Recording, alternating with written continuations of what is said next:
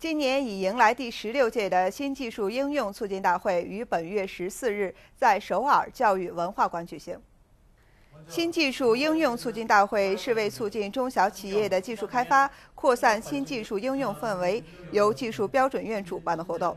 在当天的活动中，对在新技术应用方面做出贡献的企业和在开拓产品销路方面做出贡献的机构给予了政府表奖。